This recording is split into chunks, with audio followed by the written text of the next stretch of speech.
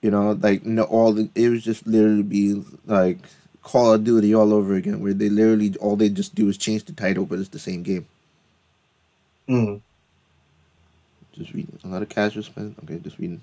Yes, you could be casual and still be in high chapters because of Bizang. G. Listen, we're we're not going to talk about Bizang.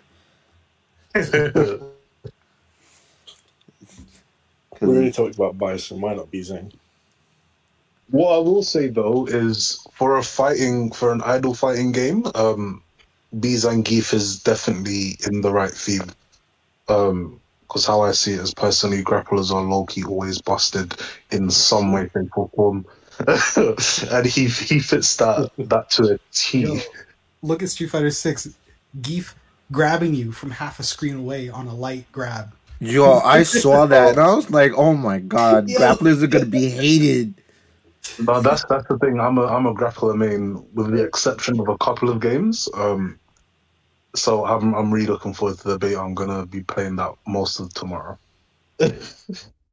See, if we're talking about Street Fighter Six, I have a little issue with it. It, Oh god. the, it, it, the hits don't feel impactful. Like if, if you look at Street Fighter Five, you know the difference between a light and a heavy because there's impact. That But in Street Fighter Six, every hit looks exactly the same. There's there's nothing to indicate it. it it's not like I Um, want to say immersive, but I don't think that's the word. no, I get what you mean. Um, and what I will say um is I can actually talk a little bit about this um because I've done well. I, a whole long story short, but I've done a couple of modules on that at university for it, and the whole point is just the pipeline of their game development. Since the game is just around the corner and it's in beta, they're testing server functionality and just the last things over the polish. So when the game does come out, hopefully that should be fixed.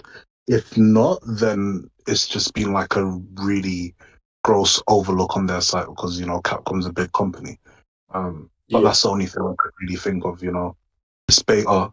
They've got people coming. They kind of just want to stress test the servers, make sure the connection's good, make sure everyone's having fun, and then we can get all of you know like the full roster, all of the the glitz and glam when the games come out.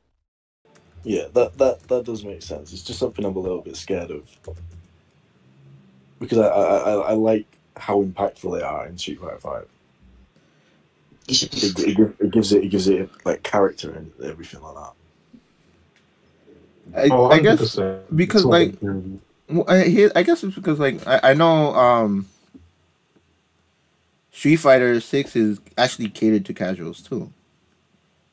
Yeah, but they they've added whole new like map. I don't know layouts about no. that completely cater to new players. Like you can do a full combo with one button. Yeah, yeah. I mean, you could literally just push square, and Zangief is the greatest person ever to ever do It's stuff. scary. Like it's It's scary. terrifying. It is terrifying. But I guess that I guess mm-hmm. that, that's where it is. It's like is I guess is my fear is is that is there enough players for the churn? Like I obviously for Street Fighter Six Oh, is a different dynamic yeah. versus mobile and Street Fighter Duel. But like, is there enough to keep? Like how how because. Uh, I'm jumbling. So they initially stated that the game has done at least ten times what they they they have expected. So in Hmm. my mind, I'm like, all right, sweet. So you could also technically say that they have that amount of player base extra that they weren't expecting to have before. Wouldn't as a business, it I guess re- why isn't retention more important? Like, how does that work versus where it is now? Like, because it's early in the game. Okay, most people, most The game is still in its infancy. They aren't committed to the title. Okay. Yeah, the the game is um the game is still in its infancy, so it doesn't really it hasn't it doesn't have a lot it doesn't have a lot to to prove necessarily. It just has to it, it just has to function at this level for a little while to to um to nurture who who they ha- already have or who they've already kept, right? Like so if if you've noticed over time, the the players who come into the game, they don't have as much as as we do, obviously, but at the same time, our game progression is different than somebody who's just jumping into the game also.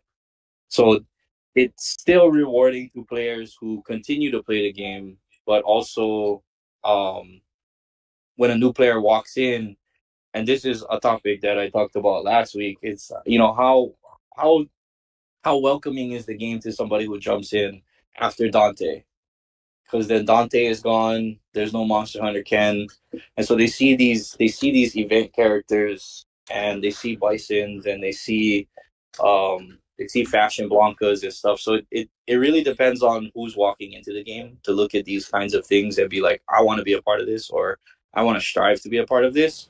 Otherwise, they're gonna play it for maybe two or three weeks and move on to the next thing. But the players that stay and you know enjoy the game for what it is. I'm sorry, my seatbelt thing's beeping. Uh, the players that stay and see the game for what it is, they're they are rewarded in in in a way that they're they're participating. So it's doing well to nurture it, but the um the new players are are more are suffering for more than more to FOMO than most most of us. I would say. So it's not an observation of player retention more than it is it's in a it's an evolving ecosystem of of the community. So some people stay, some people leave, some people um, take a break and come back.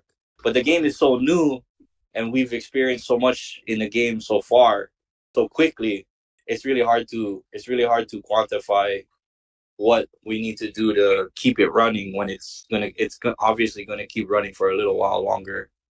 So I, I would say, at least in my personal opinion, like the there should be some kind of there should be some kind of incentive for new players to jump in soon. Like how they do codes for other older games, but we're not going to be experiencing that kind of thing for a while. Okay, so here's my question then. How would you guys how would you guys it's a multiple part. How do you guys expect the game to be in 4 months from now? And attached to that, how would you like it to be in 4 months from now? because I'm assuming your expectations versus likes which should be different unless they're you know on the same point. Are we talking about Street Fighter Six or Street Fighter Duel now? Yeah, Street Fighter Duel. With, with, how would you how how do you expect the game to be with how everything is? How do you expect the game to be in four months?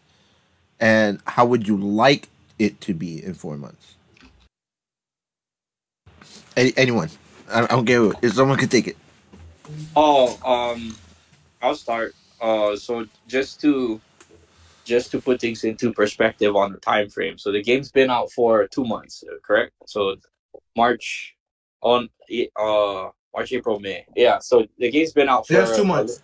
Th- yeah, three months. months. So we're we're pushing the end of third month. Yeah. So if we if we just if we double so we're now we're we're attempting to make an observation on the doubling the lifespan of the game. So um in four months in four months i'd like to see myself um getting into chapter 31 maybe 32 i'm at chapter 24 right now. You know i'm just i'm kind of taking it casually. Um so if anybody else is going to chime in on this observation keep in mind that uh this is this is uh like i'm i'm using it as like a personal observation for me I don't expect I don't know what to expect with the other players, but I can tell you in four months from now, I want to see myself in in the the chapter thirty or so, because I'm at chapter twenty five right now.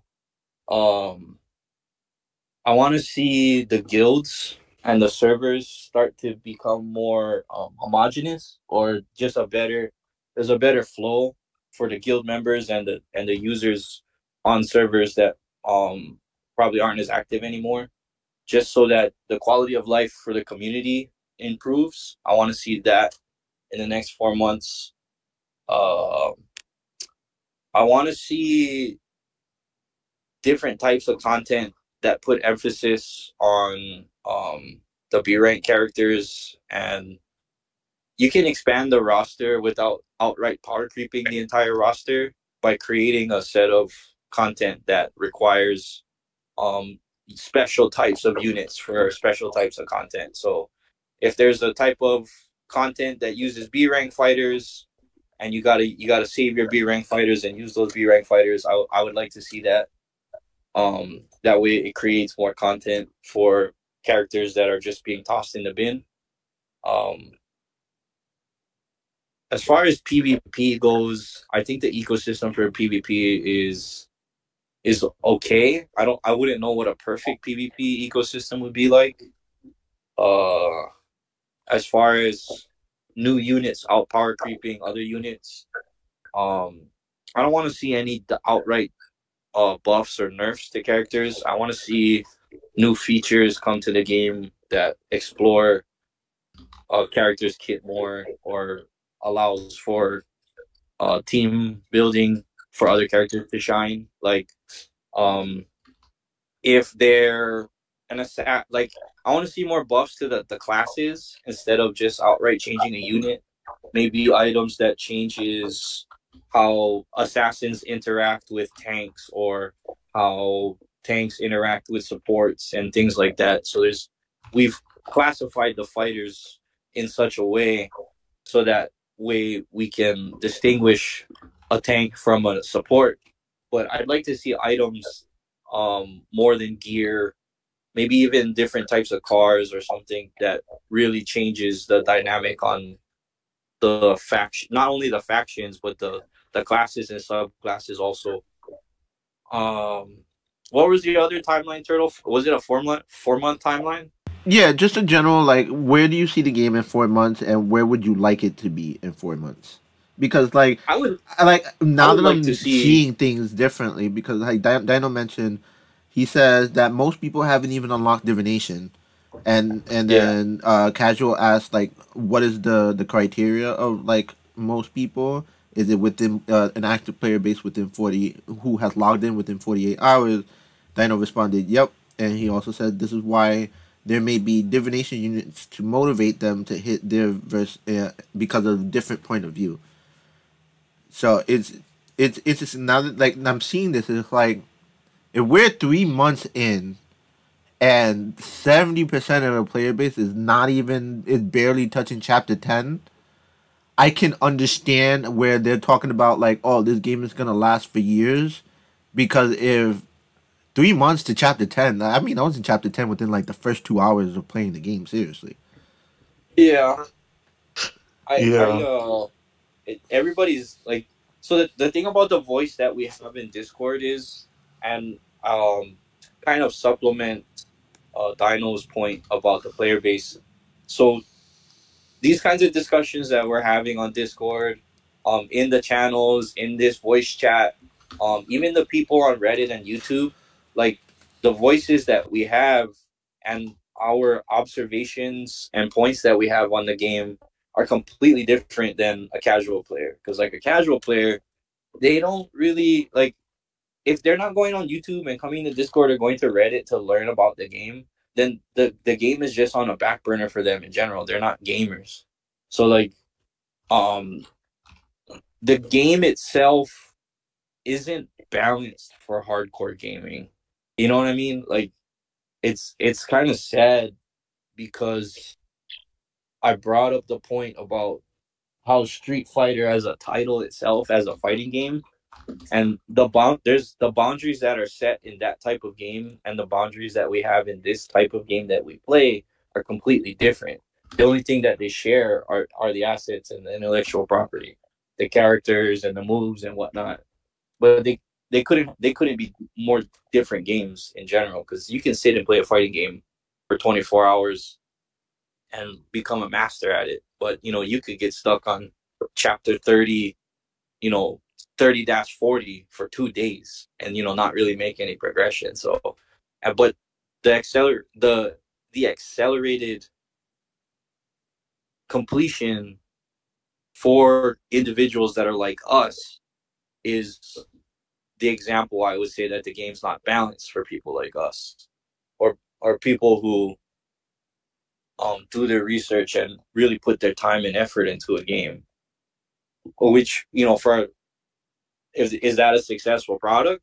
Maybe we're we're still talking about the game two months afterwards, and we're talking about a four month window and a, and a yearly window, and we'll keep playing the game regardless of what they've already done or accomplished so far.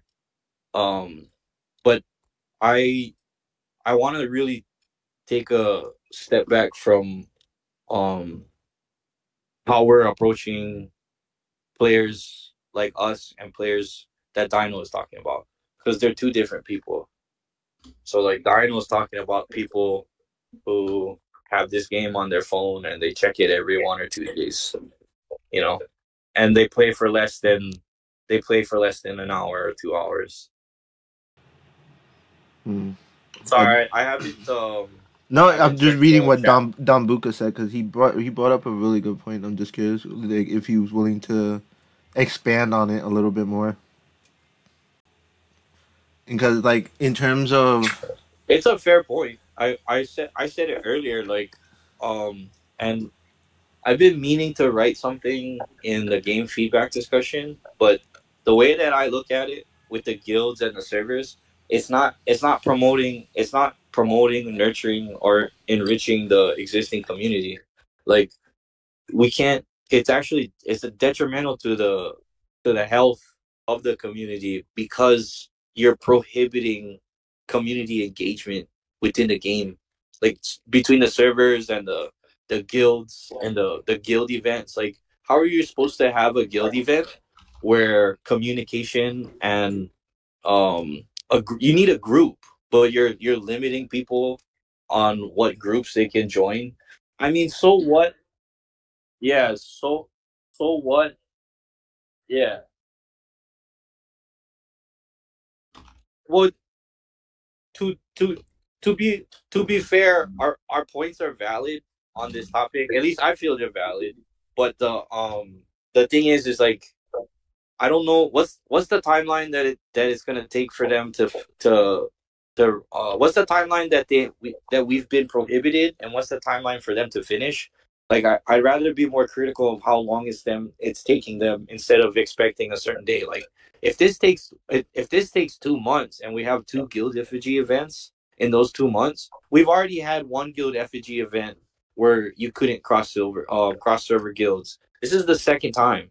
Like when is it Uh, are we expecting the third guild effigy to be better? What about other types of guild content that we're gonna have to do later on?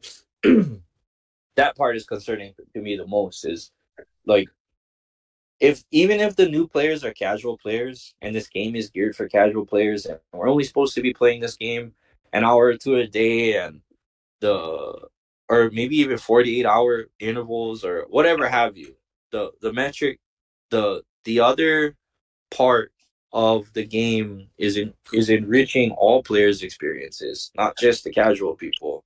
So if we have a dedicated group of twenty thousand members in the Discord who are communicating with each other and trying to get and trying to take advantage of the guild content and the you know or even being friends. I can't be friends with people from EU for some reason. I don't know how that works or what the That's a What the overhead thing. is. That I can kind of understand. okay. I that that I don't. The only reason I brought it up is because I don't understand it. But yeah, like there's two different at the same point, oh okay, yeah. So the the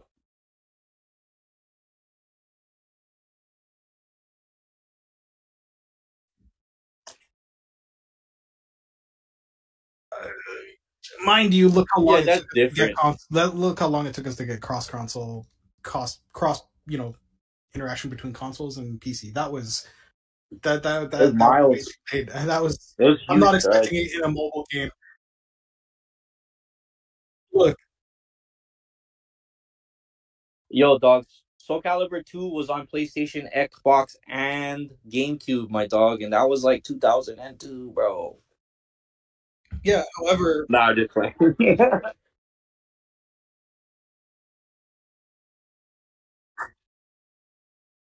Server maintenance.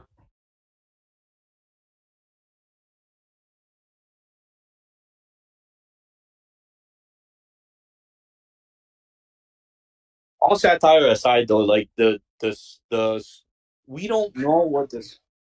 Yeah, yeah, yeah. No, I to be more critical about it just for a sec. It's like okay, so we don't know. We we won't we won't ever be educated on the overall costs. We won't be educated. Um, there's certainly people smarter than me who maintain these servers and code all of this shit into the game. Part of my French, um,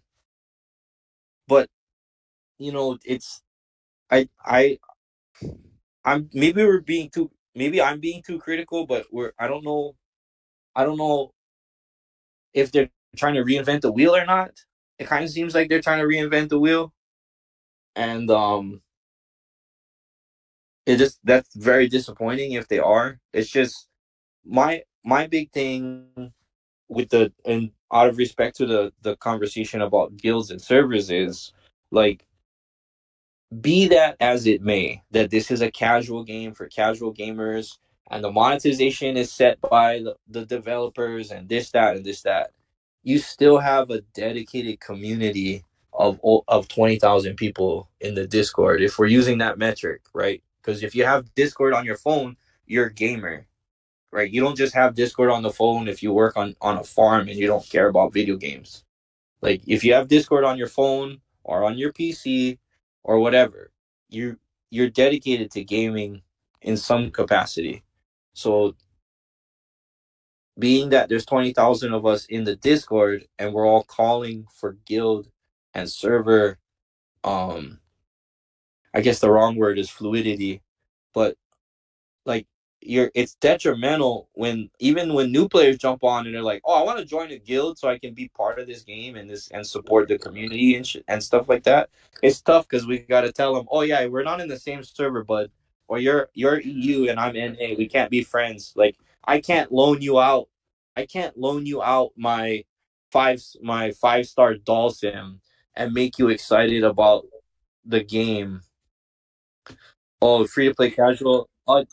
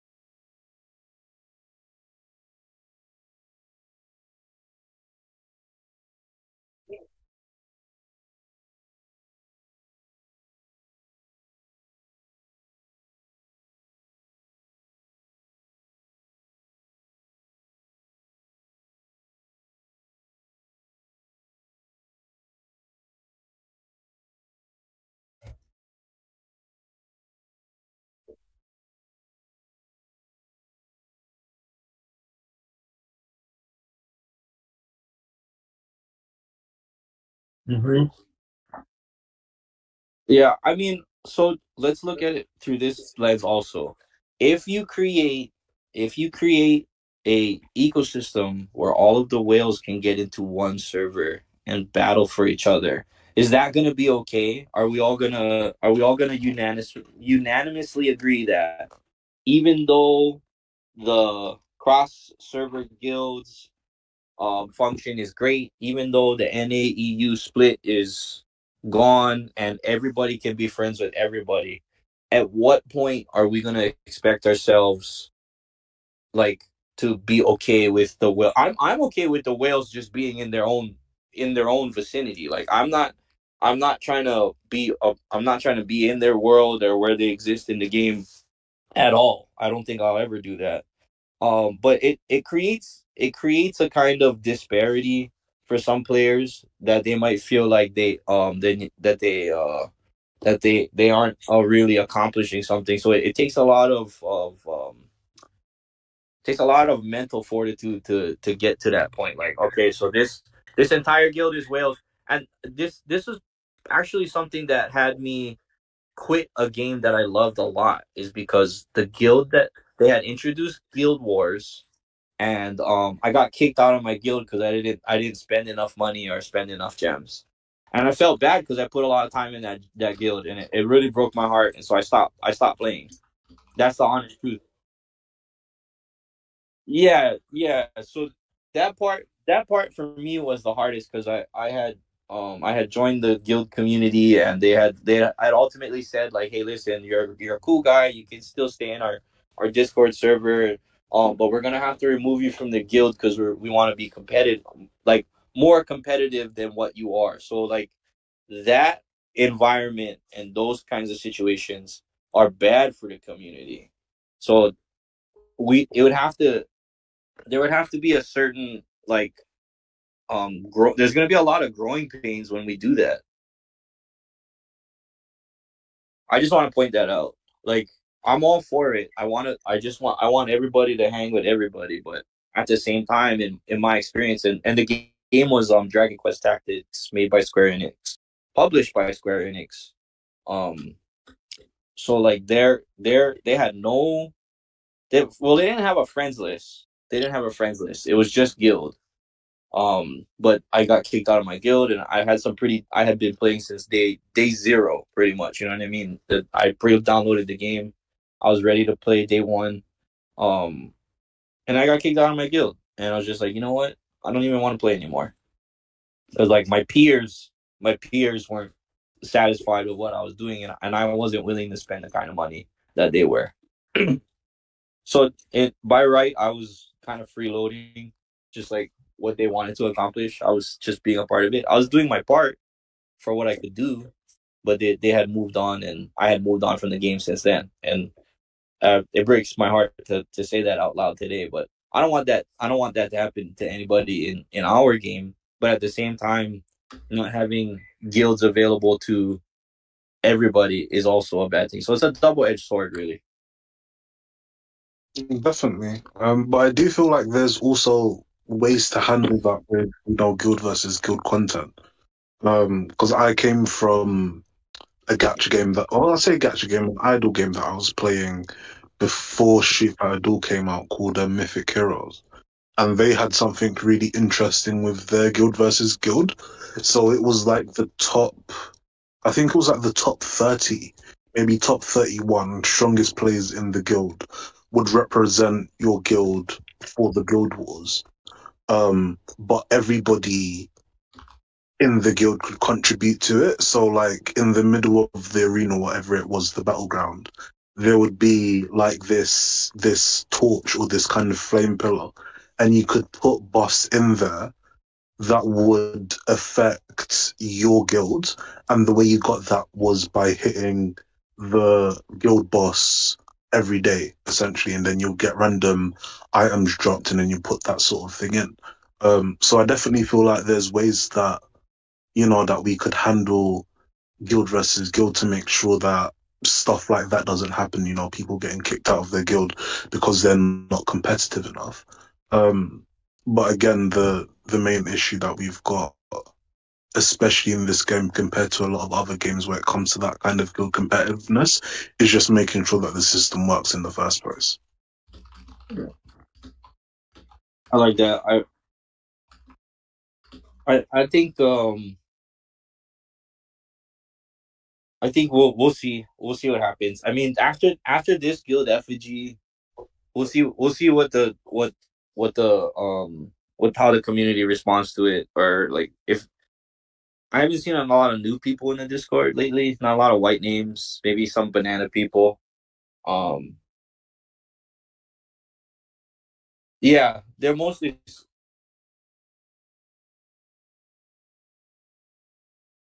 Yeah.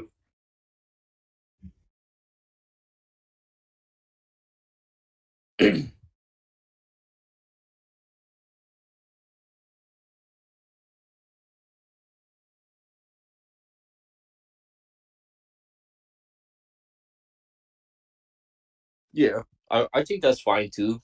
Um, you know, banana people. Yeah, I remember the early days. The early days. The early days, banana peoples. I remember when some of y'all was banana people. I was there.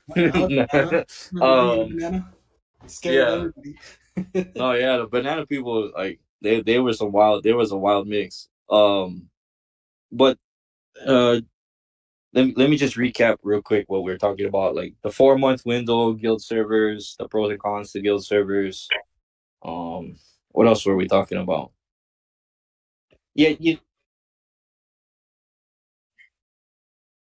Oh yeah, player retention. Yeah, I I uh I can I can still elaborate on that topic if you guys were if anybody had any more points on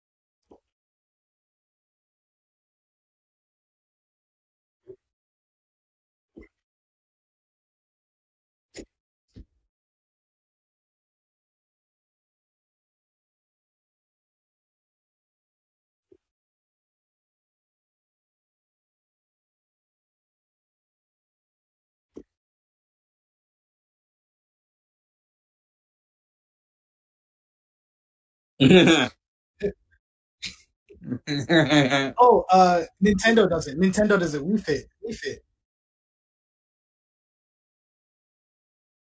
It's definitely a Nintendo thing. They tell you to go outside, and it's like, whoa. Yeah, hold on. Yeah, yeah, Animal Crossing. Yeah, yeah, yeah. yeah, I I think uh Yeah.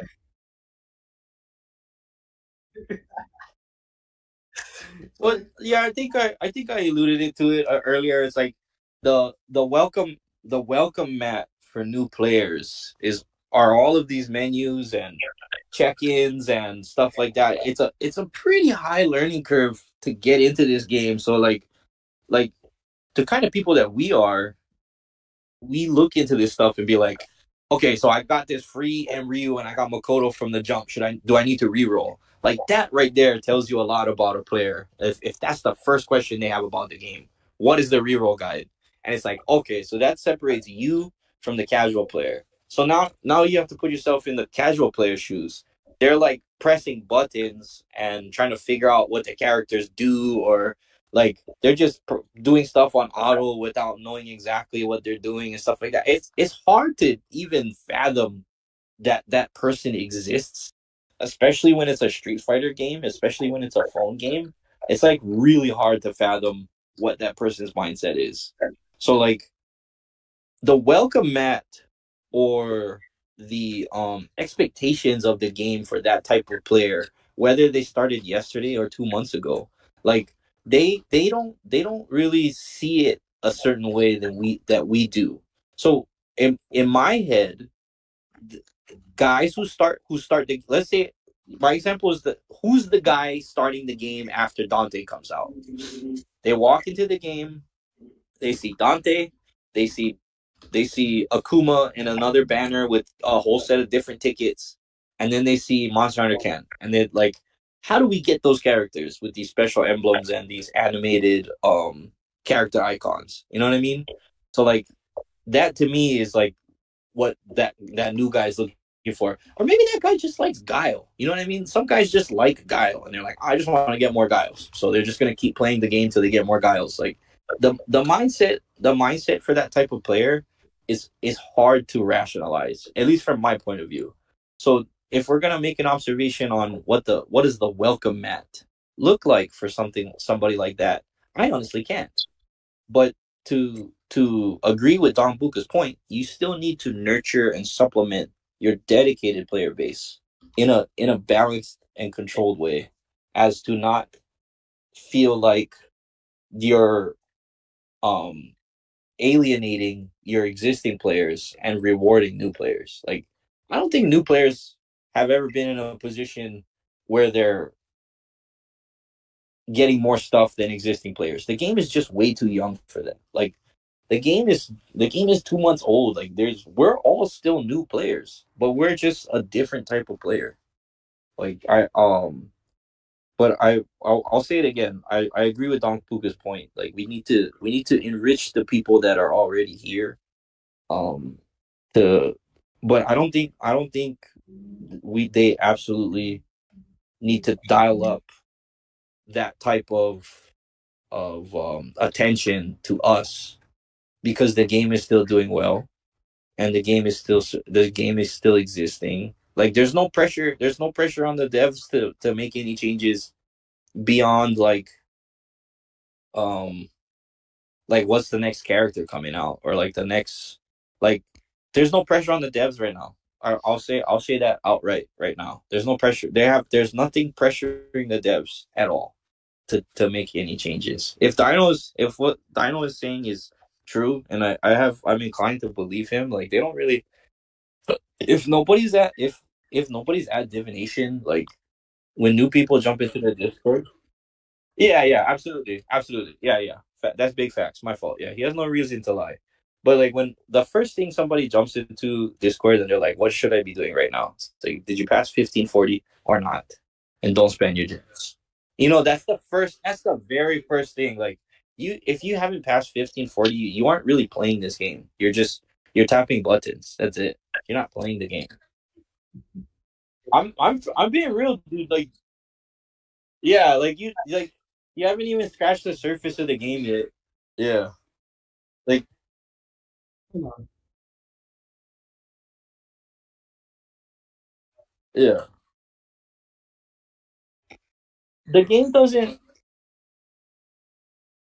the game doesn't challenge you to create a theory until you hit 1540 in my in my opinion. And you know what? I'll, I'll be i'll be honest and i'm this is really by uh i'd like the game to tank as a community person i'd like the game to tank so your messages get across faster. I'm i'm just reading what Dino's saying for the for podcast keep in mind they are looking at feedbacks weekly and have big convos around it. When it when it gets implemented i myself don't know but it's on the desk mind. And and that's fair. I mean it's you can't you can't expect changes like that to happen immediately. I mean to to I- i'm giving them time to do it. I'm i'm honestly the things that i'm disappointed about in the game i've I, we've already talked about it um but yeah like the the welcome mat doesn't have to be super inviting for new players. Hey, congrats. Fake EU. You just beat 36-32. Um but the game itself doesn't the welcome mat doesn't have to be bigger and the, we don't have to um hand feed the the existing players yet. The game is still new, it's still thriving, and there's not a ton of pressure on the devs. But I'll tell you I'll tell you one thing.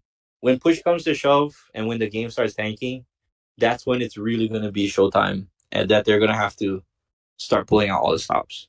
So I I want to say it was last week or a couple weeks ago somebody asked a question um you know what do we do if the game is dying? And I was like of course there's protocols in place to save the game. There's there's got to be some kind of like red button or, or some kind of structure that they have to be like okay when when the game dips and what do we do? Like you can't really show your hand. Otherwise people are to try and force your hand right? I don't know. I've been i've been talking way too long. I could talk forever. I don't know. What's up what, what's up with you guys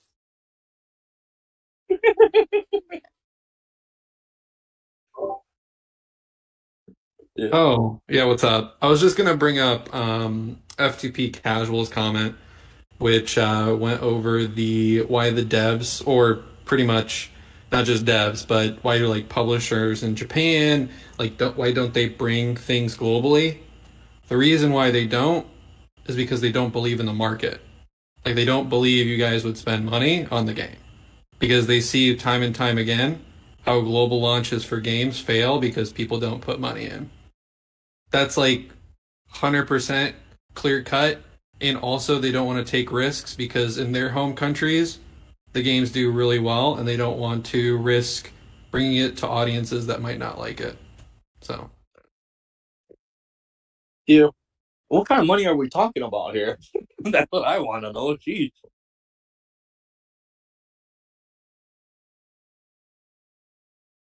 Nobody. Nobody. No. That, that- I would. Okay. Uh, let me let me precursor that. I don't expect anybody to know the answer to that question. I mean, you know, each, it, each company is different. You know, Yeah. each how they look at it, what their goals are. But from me working with Japanese publishers, I will say they have some very unrealistic goals. Um, from like previous companies I worked with, like incredibly unrealistic. Like for PSO2, they wanted 300,000 players, I remember. but the game was like 50,000 globally. yeah. So that should tell you the expectations for them and kind of like money wise, like what they might be looking at. So, you know, factoring um, all that and understanding that it's it's I difficult. played I played PSO one on Dreamcast like as a kid, and I loved it. And then PSO two came around, and I had like huge high hopes for it. And then I played it, and yo, I dipped out real quick.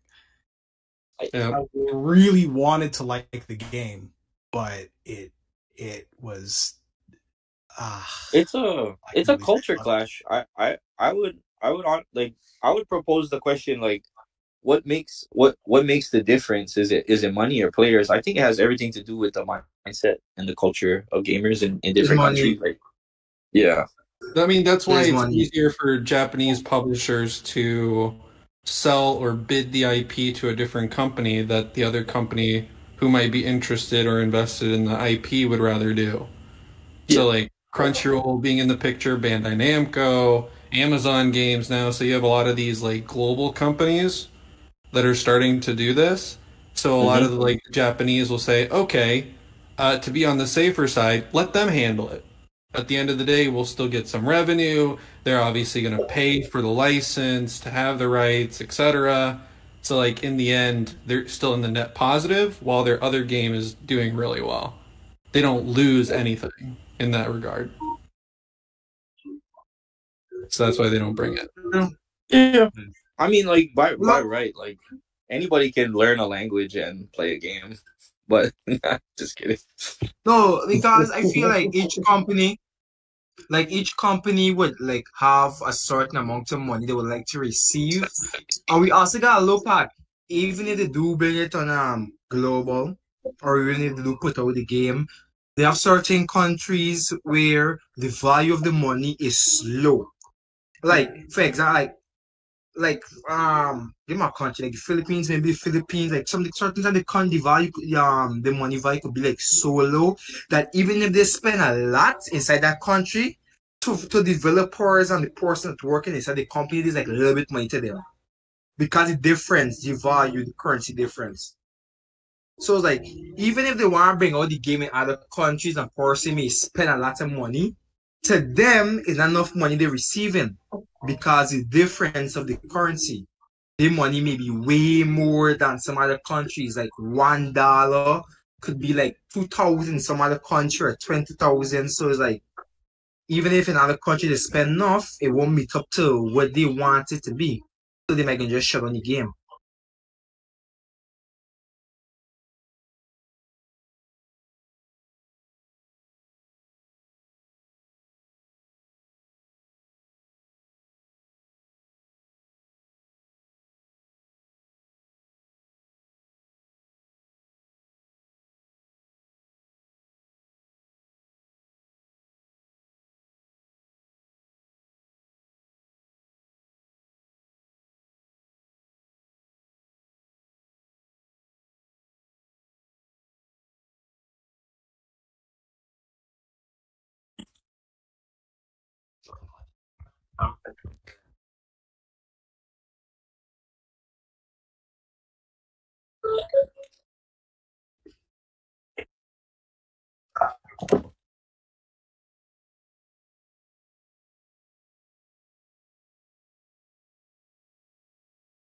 Pesos in for Philippines?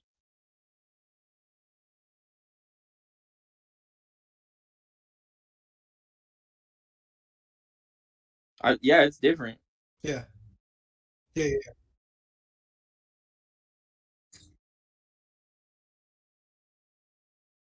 One US dollar is fifty five point seven Filipino pesos, so it's like fifty six pesos. Yeah. But I don't know. I don't know what their what their economy is like. How much does a peso actually get you? You know,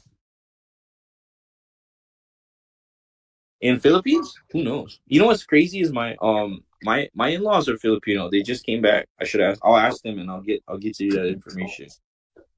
on a on a good. smaller scale, maybe something you can understand like easier. I'm Canadian, so a ninety nine dollar pack that would be USD is hundred and thirty four dollars Canadian, and then you pay tax on that. So that actually comes up depending where you live in Canada. Where I live, that would come up to about a hundred and just like a hundred and forty something dollars. Where one of my friends live, that same pack would be a hundred and sixty dollars in provincial tax. But then you'd have to you'd have to factor you'd have to factor in the average income. Like you would just take like Subway barista in Canada pay versus Oh yeah, yeah. In my in my province, like minimum wage is pretty good. It's like uh, we're I think we're going up to like sixteen twenty five Canadian, but that still equals out to like mm, I think it's like thirteen dollars USD. minimum Wait, so Yeah, turtle, turtle. Okay, so uh, well, I live in Indonesia, right? But then I moved. So then, like the minimum wage, like I don't know how you convert it, but it's we call it dua juta, which is basically two, two million or two billion. But then, um, two billion, it doesn't sound like a lot. I mean, it sounds like, but then two billion is the minimum wa- uh, wage standards for there, and two billion compared to USD is 1.5 billion is 100 dollars. So then that's like a little bit above 100 dollars just for that yeah. And that's the minimum wage. Okay, so my Let's just question break it down is, to say- you break it down into hourly, right? So I don't know. I don't. Let me look up the minimum wage of Hawaii because minimum wage differs in the, between the states in in uh, um in America. So what is the Yeah, Hawaii? min- that, that's true but like um I, I don't know the difference between like it because like uh where i stay it's not like the biggest city not like jakarta or stuff like that in indonesia um but then like just from the smaller cities and stuff like that wage is like around that much Yeah, it, the twelve dollars an hour, twelve dollars USD is the minimum wage for Hawaii. So like you got to figure somebody who's working twelve dollars an hour, eight hours a day, it's gonna take them two days to buy one hundred dollar US uh one hundred dollar pack from Street Fighter Duel. It takes two days of their life. So then you then you would take that metric. Okay, so it takes it takes two days of your life living in Hawaii, working at minimum wage to buy a ninety nine ninety nine pack. But if Don with if Don Buka is saying like the minimum wage is sixteen dollars, so sixteen dollars, sixteen dollars times ten is you know one one sixty, and his hundred dollar pack is one thirty. So it, it takes less. It takes one day less to pay for one hundred dollar pack yeah, in Canada. Even beyond the the you have to break it down into what is the wage that somebody is making, how much hours it's going to take to obtain a monetary goal versus a different currency and a different pay rate, right? So if you break that down into minimums, like the absolute lowest amount or metric, like you the twelve dollar minimum pay is in Hawaii of twenty twenty three. It'll take two days to reasonably afford a ninety nine dollar pack when you when you're talking about USD. So the time it takes to make hundred dollars in US dollars versus the time it takes to make that same amount to accomplish the same goal in Canada is different. Yeah, Yeah, free to play casual mentions here. He says, uh, let me make sure I, I, I want to repeat this exact. He goes, in India, average one year wage is 3,000 USD. Oh, and gosh. his first paying job was $160 USD per month after 20 years of education.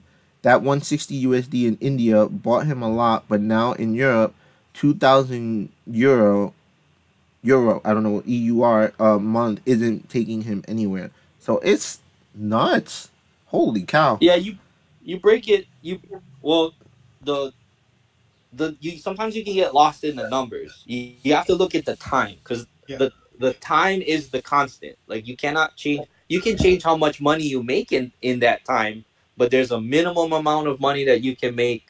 Um, that's based on what your government says. but like, there's a minimum amount of money that you can make, and a certain amount of time that you have to spend in order to make a certain amount of money. So like, the if we're gonna if we're gonna go down this route, I want to break it down into time. How much time does it take the lowest paid person to accomplish the same goal?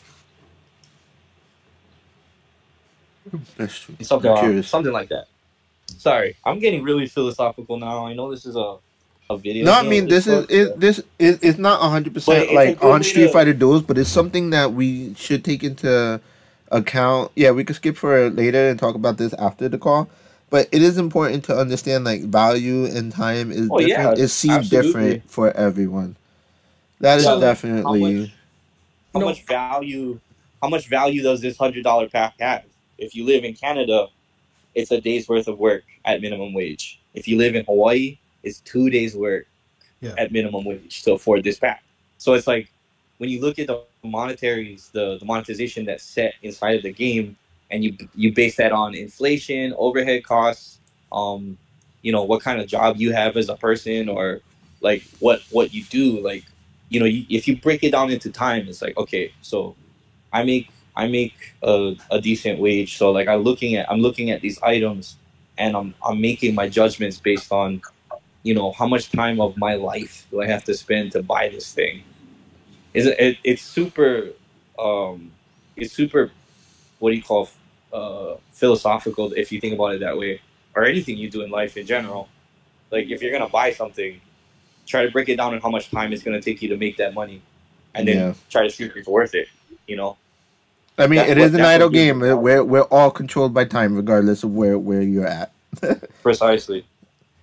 But so I, I I have a question, just to like, if so, going back to like, uh, so this game is coming out of here, Crunchy, A plus, whatever, maybe joint venture, all three of them. They bring the game to EU, rest of the world outside of you know home location and stuff like that, and then it costs money and stuff like that. Wouldn't then the cost of these packs come to CR, A plus, whatnot, and then like I'm just trying to figure out where like this kind of stuff goes back to like the devs in terms of getting less for the more you pay in this game. Yeah, that that's actually a good question. It's like how do they see that versus I guess the player base. because like I've seen this like same sort of thing when it goes to like other games, and it's I'm just, it's just very convoluted to try to figure out what's going on. It's like blame is being shifted here and here and here when one side doesn't want to take blame for something when it is negative. It's a it's a No, no, no, no, hold on. I, I can answer this. So it's not really uh, anyone shifting blame on another person. It's more like us trying to, well, actually, to be quite frank, so many people in the industry don't tell players the information I always tell you guys because they're scared of the backlash and they don't want you to hear the reality. And also, I kind of do it because I think it's important for you guys to know. Yeah. Um, but there's there's there's reasons why community people don't mention this or anything. But the the difference is how a licensed game operates. Totally different ballpark. So what you guys see with packs, the things that are added, there's multiple teams involved there. Firstly, the publisher is obviously making money off of whatever is put there. Yes. But you have to think of the items, what's being added to the packs, how the packs are created, what is in that specific pack, and the items associated. That's the devs call. So the devs call that and how they value their items, that's how they value their game. as publishers, we don't know their game. The devs know their game. So that's where that ideology is. Okay. So then what I like I look at the packs here, you're saying that the devs value the Yes. red That's crystal. question. That's that's to answer your question. Yes, hundred percent. Okay. That's how they value each of those packs you guys are seeing. But how that money comes, that's obviously more in the publisher because we're bringing this, as you mentioned, to the regions that we're offering it that uh, they probably wouldn't have in the first place. But yes, So then then the other question is then if you guys like, you know, as a publisher expect a certain amount of money and then the devs control what's going into those packs, why is it then the further you get the the like uh I guess you could say like the more like in terms of poison packs, you suddenly are not able to even look at or purchase a pack you were able to buy, say, a stage ago.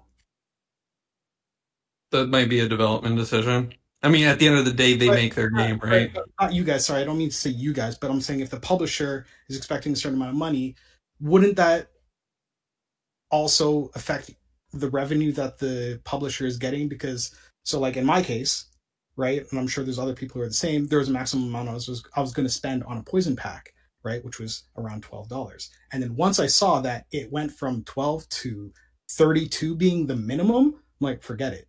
Why? So Yeah. now, in that point, I'm not going to spend money in this game anymore.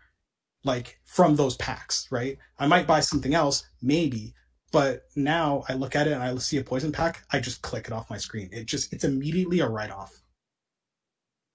Right. I mean, that's a development thing. You could always leave it in in game feedback or something, but that'd be something. That's Interesting. asking. It's like if if there's this thing, then how's that a development issue if publishers are expecting money money, but then that's cutting off a revenue source for the publisher. I, I mean, that's correct, but also let's think of it in like the bigger scope of this because a lot of it is a bigger scope. The game made 10 times more than we expected. So because of that, we don't see those small things on the publisher side that you guys are mentioning because the game is doing fairly well, monetarily wise and players wise. Which is great that you're telling me this information. I think it should be in game feedback.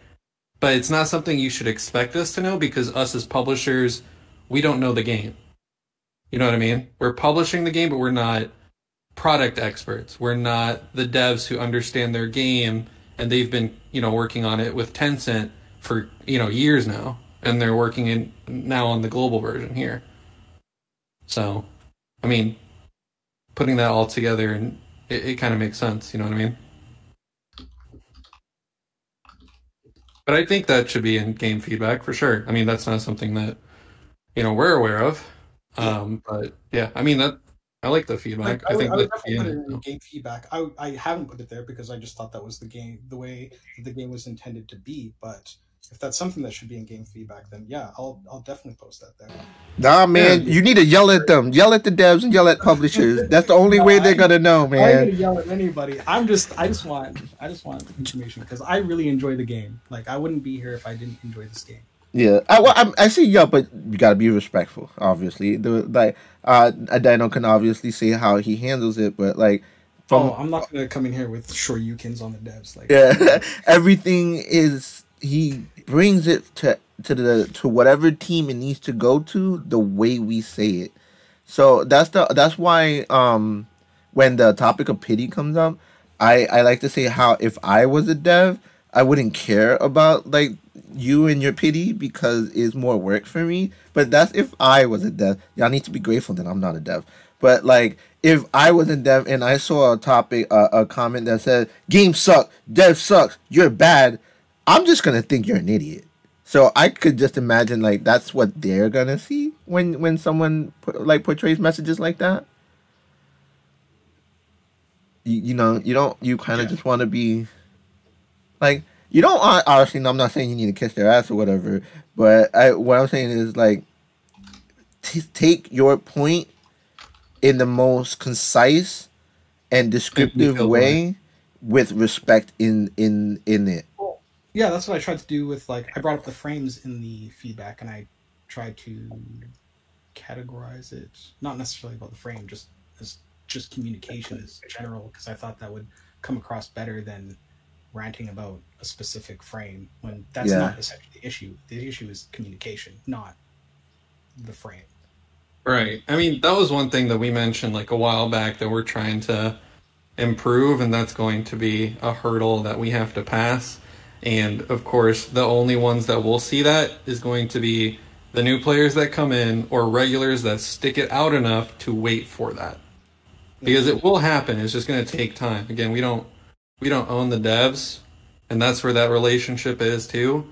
There's a difference between like the games that you guys bring up. It's it's like a lot of the games you guys bring up it's like they're both the publisher and developer but if you think of it like in kind of like a company right if the company is both the publisher developer and they own the ip that's a lot of less teams they're going through and that's only like a couple of heads maybe one real head that gives a yes or no so that's why you guys are able to see so many things from games that's like connected to that analogy so like, oh, we need more communication. Where where does that come from? It's easier for a publisher who owns the developers to say, hey, guys, we need to give more information. Let's do this. The community wants it. It's easier to say it like this because you can kind of tell them what to do in a respectful way. You can't really tell partners what to do in a respectful way. To do that, you have to.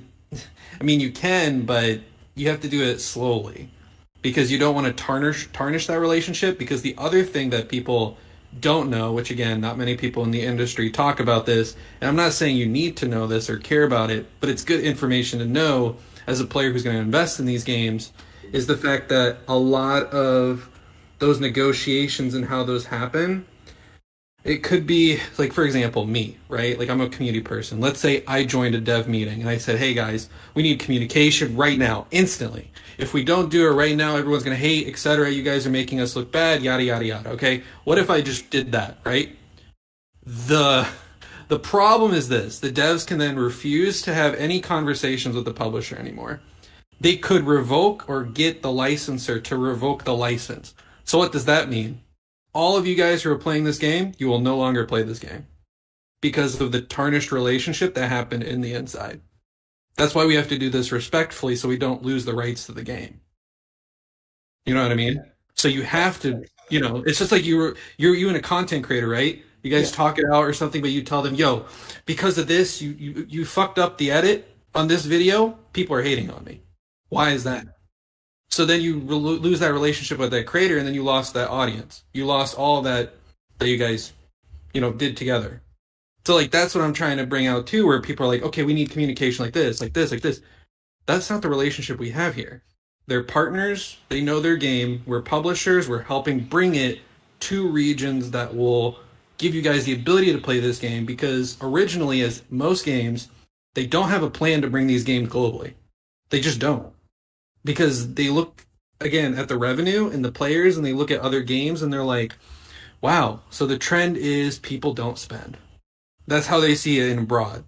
Because the expectations of Japan, how they see it, how they want these games to thrive, and if it doesn't hit that, that's the that's the exact reason why they don't bring games. But there's publishers like Crunchyroll, Bandai Namco, um, various other publishers in the industry who want these games to bring it because they want people like you guys to enjoy it.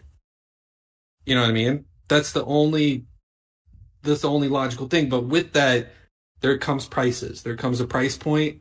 How you talk with you know those re- layers and understand that there's a lot you have to go through. But something like Genshin Impact, I know there's a lot of great examples you guys bring, and I'm not discrediting those examples. Those are great examples. I love them. But the problem is, they're the publisher, they're the developer, they're the IP owner. They are the entire hat. And everybody in that hat is working together in one company. And it's going to benefit everyone in that one company. Yeah. So that's just like the realistic point of view of that. Um, I have one question, but I'm pretty sure you're not going to be able to answer it at all. Uh, pity. Will we get it back? Was it taken from us? Yeah, I, I, I don't have a comment. I I, know. can't- I don't know whether it exists or not. That's the comment I can So- give you. I'm just gonna say, kind of, this is not a slight against you, uh, Dino, or anything like that, but just the explanation. Um, I work in a I work in a field where I deal with contractors and stuff like that, but it kind of seems like it's more so the devs wanted to bring it broadside. There was a better bid brought in from here, and you guys are working with confines of the bid, which is fine. Like, which is fine. I'm just saying this. It it kind of sounds a lot less like a partnership and more like a contractor keeping a bid to abroad versus an actual true partnership. Um, I mean, you could say that, but the other thing you have to take into consideration is cultural differences.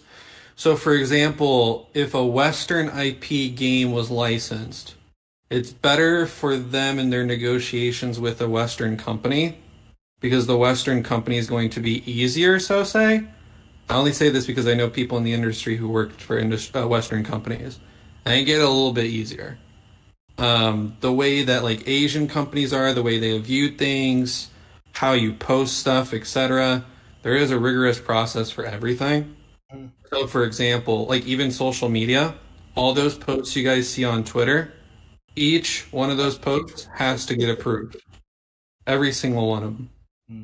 before it can go out. You can't post if if that if if those posts consistently went out, that can tarnish the relationship. That can already be like, hey, we're gonna take this IP away from you. So that's why there's like a rigorous process to everything, and it's not something so many players understand when it comes to licensed games. They see like the bigger name, like they're like, oh, Crunchyroll. They're obviously the devs because they're a huge name and they're, you know, operated by Sony now. It's got to be them. But in reality, as a games team, we're a small team within a huge brand. And within that small team is publishing, right? So we're publishing under Crunchyroll Games. We're not publishing under Crunchyroll.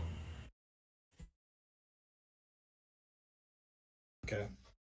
And our team is not huge in that way to be a development team. Um, and again, how Asian companies and how that usually works is we try to go with the teams that is already developing an existing game that is already in the homeland of that game. So Street Fighter Duel is a perfect example of this. Um, but a lot of other titles that Crunchyroll Games worked on, I mean, obviously people are like, "Oh, dang! Like the publisher was the reason for the for the takedown." There's various reasons. There's developers who just give up on the game, so they have every right to give up on the game. People think they don't, but they do. That's why it's a partnership. So if the devs are like, "Oh man, we're not motivated anymore. I don't really want to do this project. I want to work on a different project." They can 100% say that. They could say that tomorrow. Even if Street Fighter Duel is doing amazing, they could say that tomorrow. Any dev in any um that's also another thing that people are not aware of because that's because then they would be like, "Oh, if the publisher really had say they couldn't do that, they would just fire the person who's working for the company and they would hire a new one." But that doesn't work in these like Asian titles, gacha games and stuff. It's either the game didn't make enough money, the devs are also seeing like it's not doing that well profit wise. Do they have, you know, do they have the motivation to keep the project going? Do they really want to support the project? Is it time to move on to a different title, work on something else? You know, there's a lot of questions and talks about that that the devs can do themselves that the publisher can't just say, "Oh no, you guys can't can't go. Like we don't have that say, right?" Are you able to tell the devs like, hey, this is kind of like a nine one one situation? Is that something that's there with, between you guys? Well, if they're going off metrics and whatnot, then they're gonna. That's an impossibility. That's true.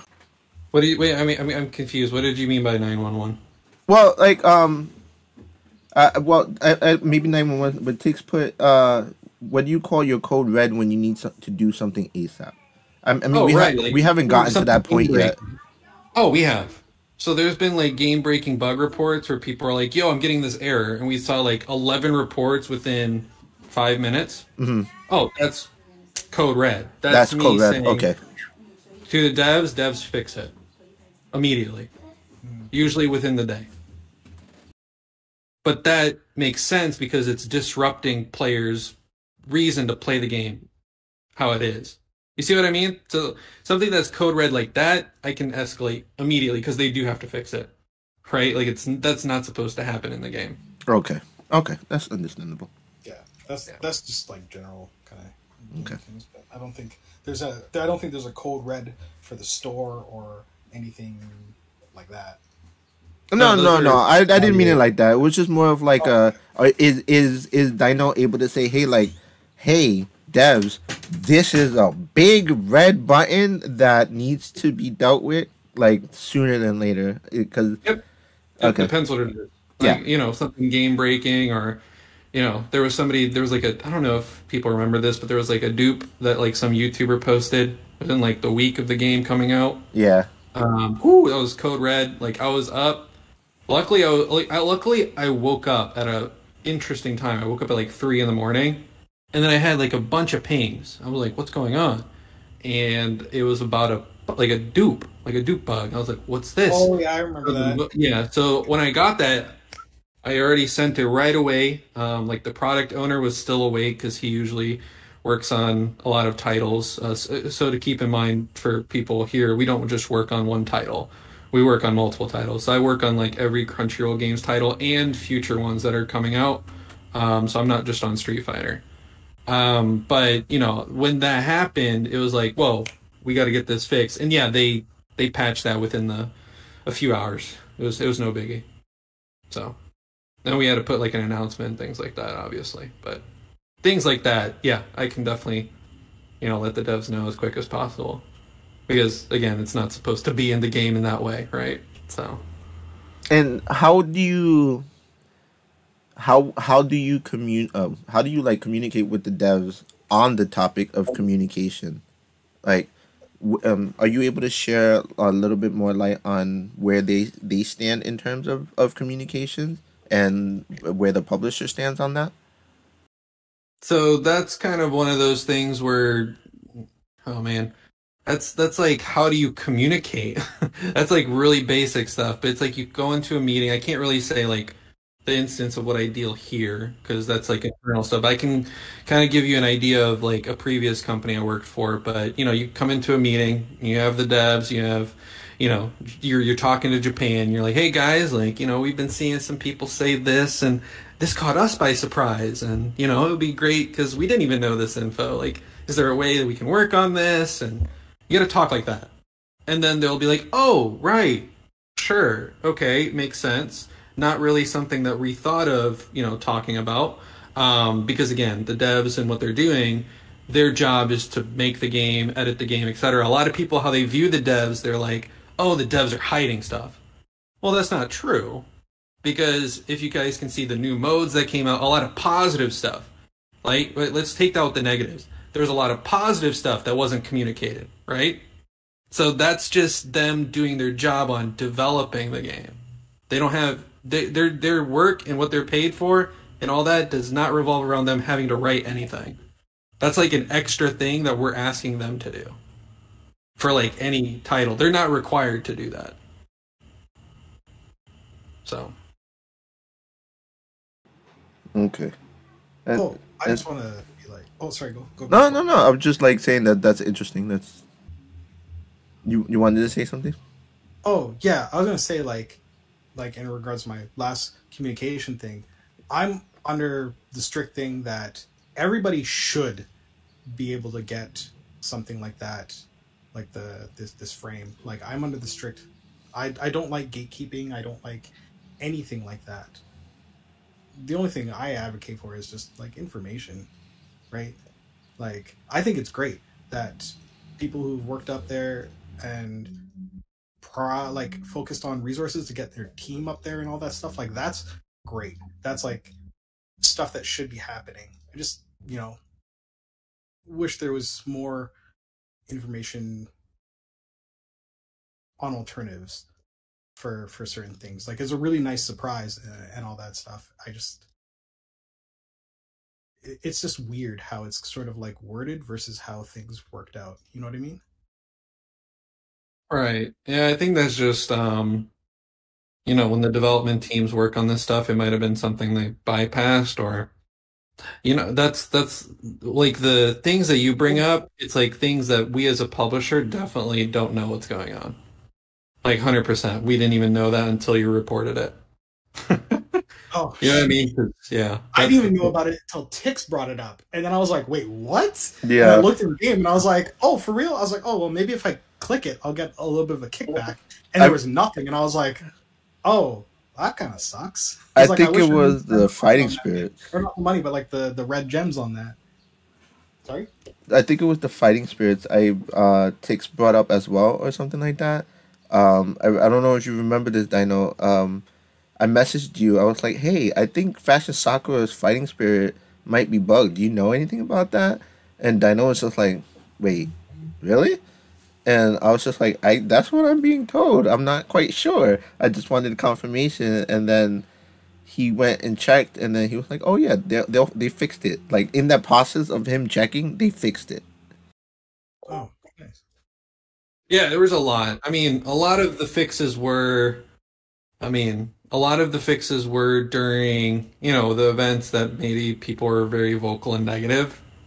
Around. You know what I mean? So it's like they were still doing stuff and fixing stuff and adding stuff, and it's just a lot of things in the community gets, uh, how do I say, overshadowed. So you don't even get to to see that you know there was things fixed because everybody is like really fixated on like how an event was run and how like poorly the community has been voicing that for example Mhm. so like a lot of those completely go out of their mind out of the picture it's just like the game offering 40 characters. Now i don't like giving this example because i know it's not a popular example but given how i know how the industry works the devs could have said hey we're not going to give you 40 characters at launch. We're going to give you 30 characters at launch.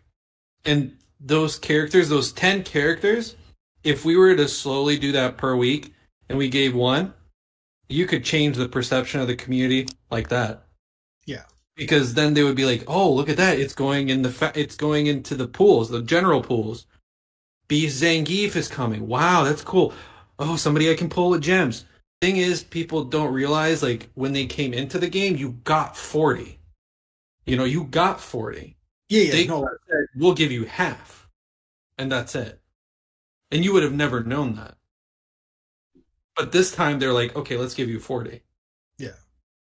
so No, I, I've been playing Star Rail behind uh, the scenes, you know, just like on my own, just you know, chilling out. And there's like next to nothing. But the way I understand that game is the way it goes is they release very few, and then they keep going with banners, blah blah blah.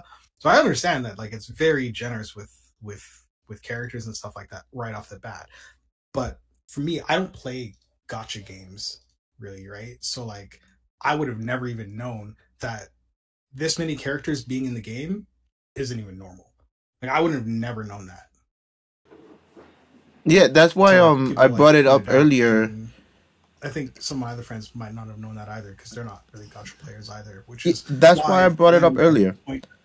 Yeah, that's why I brought it up earlier because I was like, in the terms of Infernos and Masters, um, and how they're trying to catch up, I guess, in terms of the other factions, and then also like, that's why I I asked like, if if the game was with thirty units and then they added the other ten slowly alongside the other Master Inferno, because um, uh, IQ mentioned, uh, that he prefers a pay to win unit. If you're gonna do pay to win, you'll do the pay to win unit alongside um a free to play unit. So fashion uh trendy Cammy and street poison it obviously the perfect example. And would would the game be seen better if they like how Dino said, let's say it only launched with ten and these we said it was seven uh master infernos. If each of these seven master infernos was tagged with the, the other 10 so like let's say let's just throw out 10 random names right? let's say uh akuma was launched with Fei Long vega was launched with uh chung li and so on and so forth would that have been better Because the other thing I have to think of too is trendy Cammy and Poison coming out those two times, right? So what if they put another third character in that mix? Like you just said those 10, but what if they did that? So they put Beast Zangief, Street Poison, and Trendy Cammy. You see what I mean? So how that alone could change perceptions. Yeah. Do we agree with that or no? I will say if Beast Zangief came out as a uh you know quote unquote I guess I'll say in this case premium unit versus where he is now uh, I'm sure there would have been a ridiculous outroar because Beast Zangief we can all agree is actually dumb. And Yeah, like imagine if Beast Zangief that. came out as a character after launch. That's exact. That's insane. Like, Yeah. Like if you was a legendary or something. yeah yeah yeah like I, I like hindsight we could see that if it happened at the time we wouldn't have really realized his power because not as many people would have had him and then we'd be like oh how did that guy get up there you know what i mean but like now that we all have him and we're all where we are know how to utilize them thanks to you know people talking in the discord and it's like it could have been very different like Dan was saying Yeah, it's it's an interesting outlook because I, I I love when he said that because it's like it's true. Like how how would the game be? Is how would the game be seen? Because like they could have easily just been like, all right, here's ten units, and then the rest of the 20, 30 units would have been over time. But they they like I've rarely seen a game launch with such a full roster as how Street Fighter Duel has. I mean, the other thing to think about too is let's say we launched 50 or 60. I bet you it would still be the same sentiment we're seeing right now. Like it wouldn't change. Well, it's because people, Yeah. like especially uh, you know North America wise, you're like if you want to talk about different graphics, then yeah, North Americans are about the new and shiny, for sure. Like I played, I played Destiny. I don't know if you guys play that, but anytime a new weapon comes out, people are raging and, and, and fiending over that weapon. And if anybody gets it, it's like They're Well, farming the hell out of it. and then you get the crazy have and have nots. The Yep. haves don't want the have nots to have the have. You know what I mean? Like, I I understand it does get sticky. I was going to bring that point up earlier when we were talking about. Uh,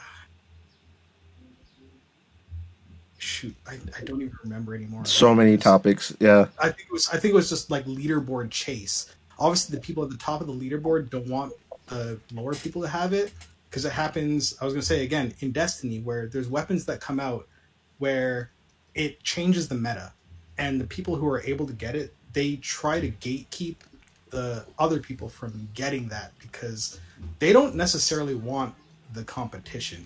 And I think that's just that's just that's just power gamers in general and when it comes to like a game where it's demographed to towards casual crowd that's like not something that's seen but for the for the people that are in it it's like ugh, you know No, I did uh, just touch on that point um, that you just made. I did actually realize that quite a lot with the um, MH10 event as well.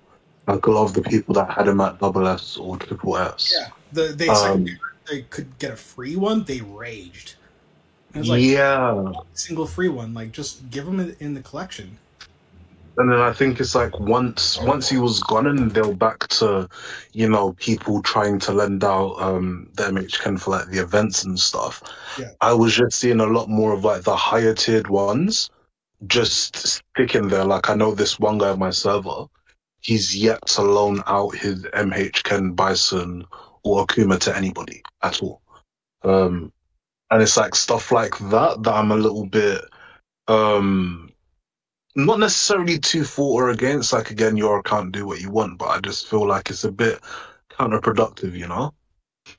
on on my account, I personally everybody who requests a unit from me, um, I look at their level, and if they're like if they have a certain number of like SS characters, or if they're a certain level, I don't lend it to them. I lend it to the people who are like lesser. You know what I mean? Like I want them to be able to progress their things, but I have an understanding of the game. You know what I mean? Like, it's not so people don't need your good units. It's like, you have good units yourself. Like, Why are you asking me for like, mine? don't need this. Yeah, like, I boy, get I'm that. yeah.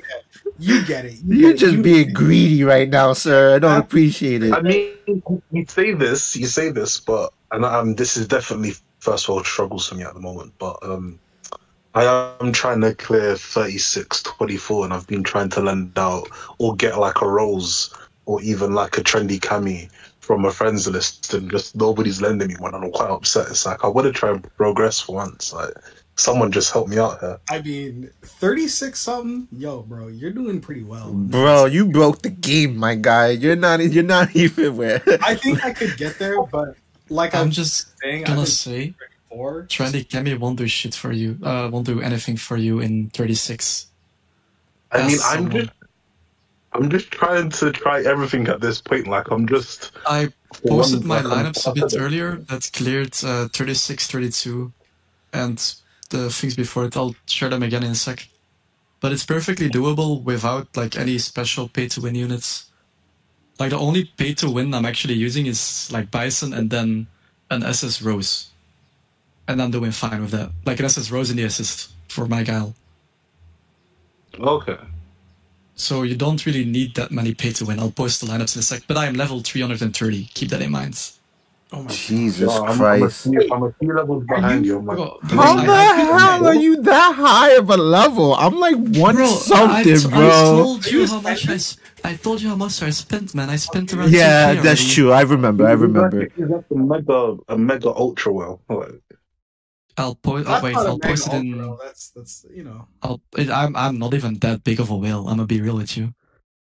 Like I would have been way stronger if the pity reward wasn't gone, because I spent f- I spent five one hundred dollar packs, worth of diffs, Hmm. on Cammy, and I got one copy, and that is why I'm so salty about the pity reward, and that's why also I just want to clarify wait, that I hold on. Could you say that one more time? I, five Just- one hundred dollar packets worth of divs for one singular trendy Cammy copy. so what was that like? How much is that? Like 50, 50 per hundred pack, right? Uh, it's 80. So it's 400 diffs. Plus, I bought, with the gems I got, I bought another few diffs. So all of those combined, which is like probably another six temples. So that's 460 diffs on one singular copy. I just want to point it out. And that's why I am really waiting for a diff the a pity system because it is really not worth it for me to spend at the moment because ma- of that experience. Oh, How 100%. angry will it make you if they introduce the pity system right It wouldn't because I would have a reason to spend again, and I, I would be like, okay, yeah, that that's it. They removed it. It's fine. That's their decision. If they want to bring it back, sure. That's not only benefiting me. I'm taking the better picture of the game. A pity system will benefit everyone, right? Sure, I, I lost money there, but it will benefit the bigger picture of this game, and that's fine for me.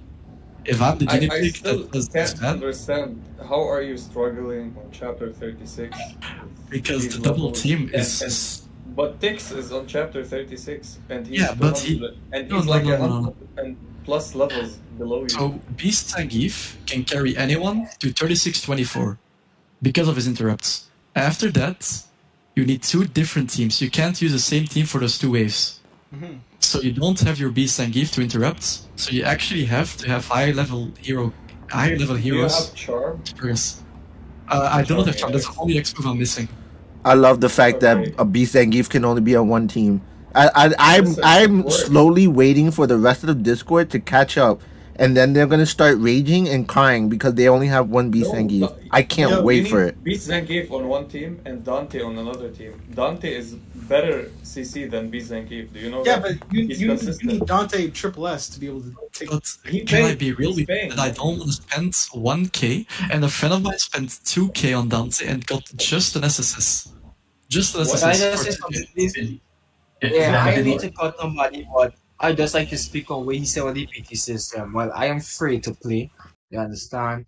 And I get like, well, I want to spend like five to five K, and trust me, bro, I get completely shafted. And the few um um A tier or A tier unit I get was completely trash unit, bro. Like a Brucey looking guy. Like, come on, Oh, yo, Fei no actually. system, bro. Fei Long can be used. He's useful. Yeah. How long is it? I'll, I'll stream, I'll That's- stream the that's- football things, by the way, if anyone want to watch, wants to watch. Like I clicked out of the. I do feel like they should add a pity system because like, I remember that how there's also free to play plays in this game. And This getting the madhouse, please stop. Okay. But um, as you can see, like fights for me are just manual and resets whenever my uh, unit dies. And now I have to reset So, again oh, because my bank what's, died. what's the major problems do you think? What's your second uh, team?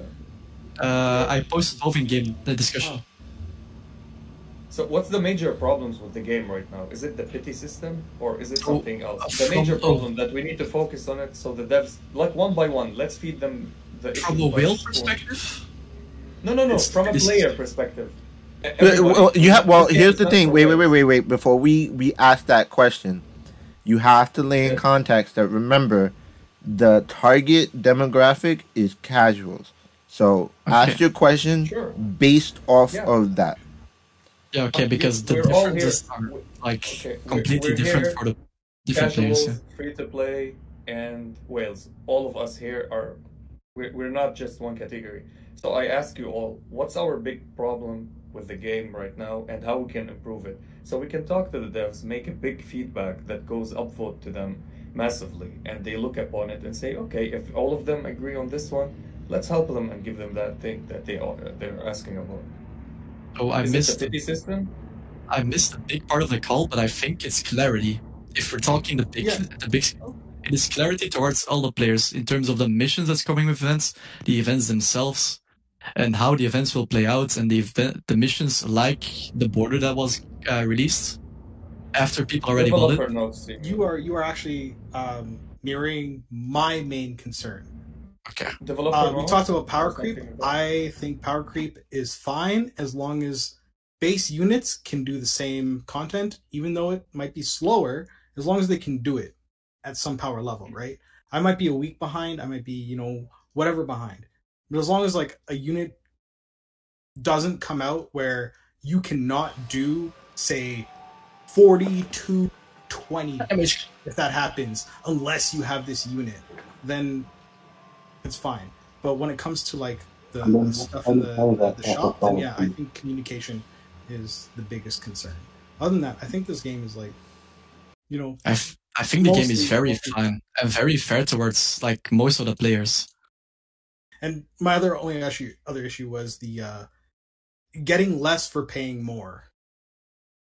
I'm not Yeah. even that big of a whale, but I can see the packs and I look at it, and then I look at people who are willing to spend that, and I'm like, man, bro, I feel bad for you, bro. I don't pay more than like six to twelve dollars for something, and I look at the twelve dollar thing, and I look at the six dollar one. I'm like, nah, I'm good. I ain't even buying the twelve dollar one because the thing that matters in the pack you don't get.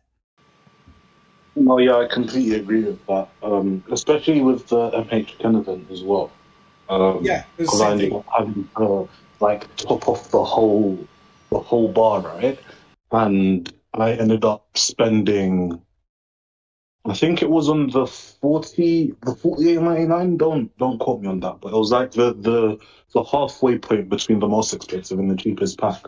I ended up having to buy an extra one of those, um, simply because of the really weird numbering that they gave us all.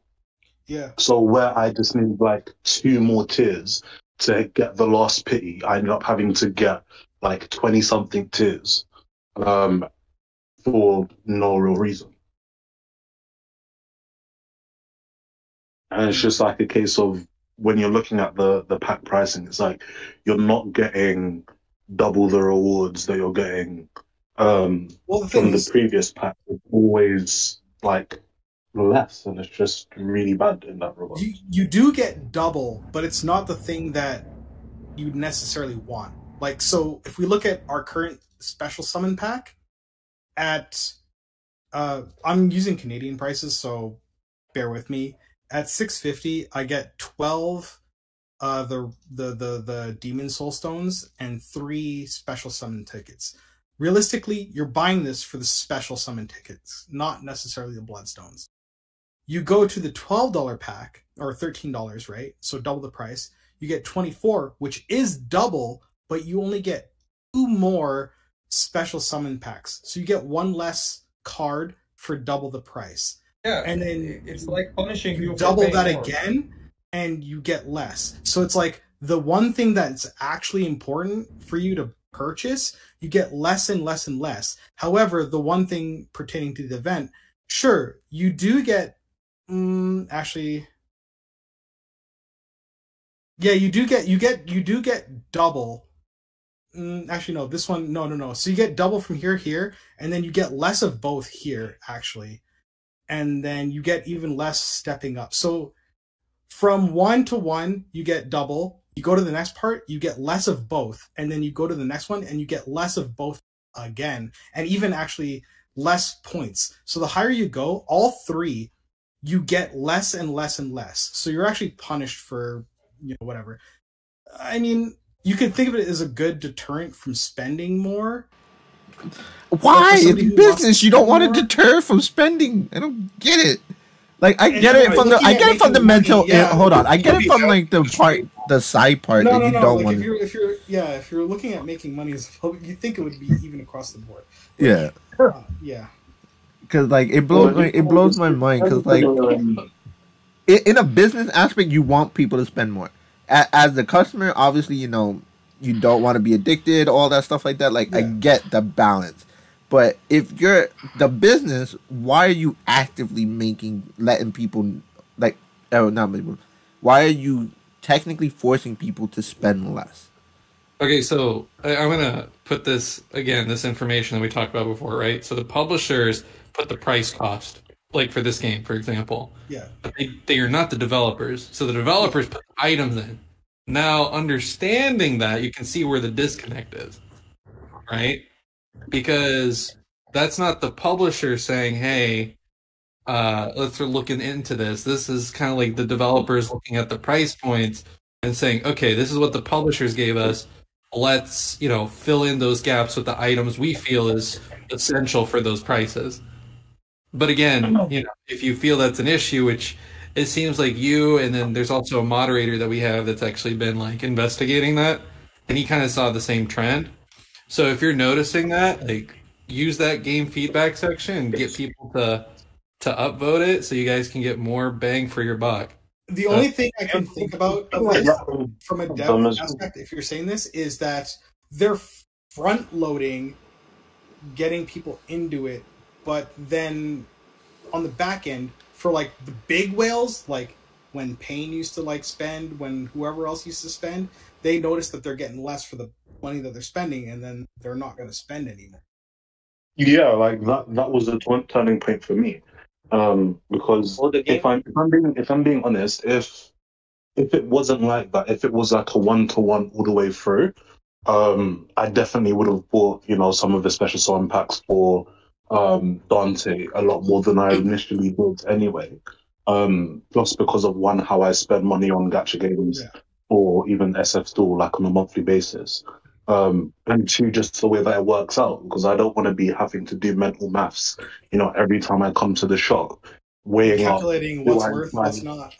Yeah, exactly. It's like, do I want to buy one ninety nine dollar, a ninety nine pound pack, or do I want to go and buy myself, you know, five of the ninety nine p packs, and you get six of the the the, the like five five pound packs, and then let me get one twelve ninety nine to equate the value, you know. Yeah. And then throughout that whole thing, probably have to call my bank to say it's not fraud, it's actually me. Um, you know, this it, it's just so much. I mean, There also- is there is what- one thing I wanted to point out. There's one wanted to point out. Like, actually, I I stepped away for a little bit, but now that we're back on this topic, so it is it is weird, and honestly, I, I quite frankly I feel it's incorrect to give less for more money. But at the same time, it's like so the publishers set up these buckets, right? Like this is a five dollar bucket, this is a ten dollar bucket, and this is a twenty five dollar bucket. And the developers are putting their stuff in the buckets. They they don't like Yeah. the the publisher just makes the prices, right?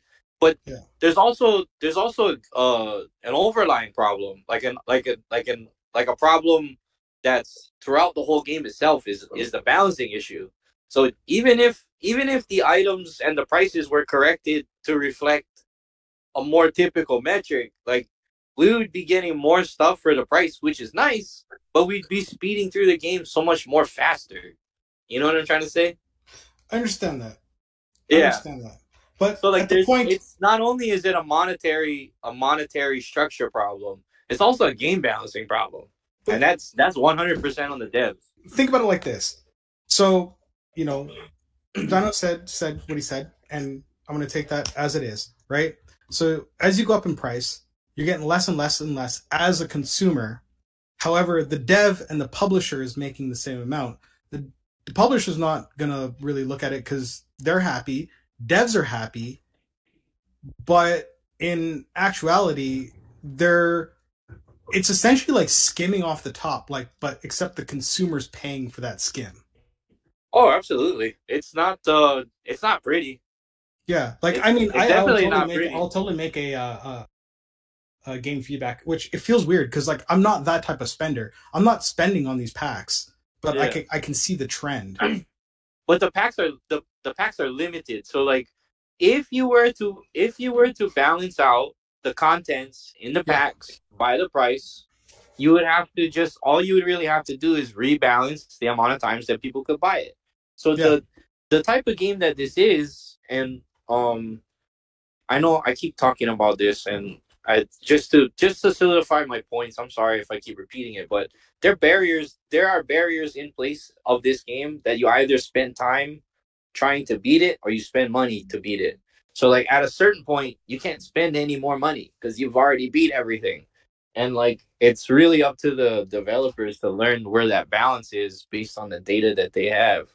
But the if you are to impose the idea that we should be getting more items in the $25 pack at a better value than the $5 pack, which I agree, then there needs to be a clear a clearer picture of how of what kind of barrier that creates moving forward. Like we can't even so if we increase the items, more and more players are going to start going from chapter 36 through 38 as they'll start existing in chapters 40 and 41 and that's the end of the game.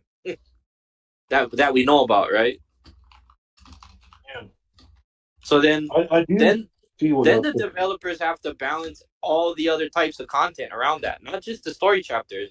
They have to balance the the towers they have to balance the Shadaloo city they have to um, balance the raids they have to balance um guild wars a lot of things that go into it but i do agree that the metric is the metric for the monetary structure is wrong but it if you change that balance they've got to balance all the other things that you can accomplish as a player they have to they have to increase the ceiling without creating too much disparity for low spenders you know what i'm trying to say like there's going to be Yeah, certain no, things I that hear you, I hear you, I hear you. I'm I'm actually curious. Uh, there's a few whales in here. If they could like speak on it, I know Flake and Chapone.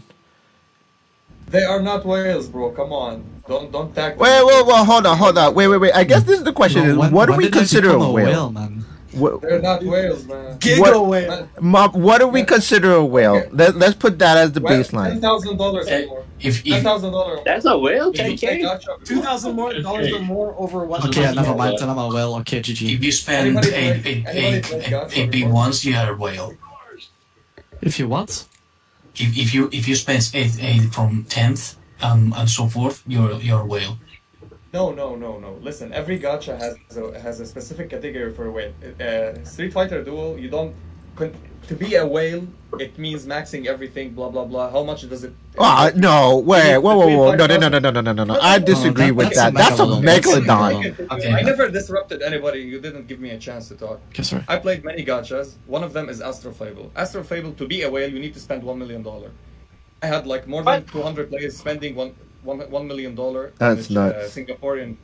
It was a Singapore uh, guild that I was in. I didn't spend anything. I was just checking out the game. It's called Astro Fable. There's many videos about it. You can check it.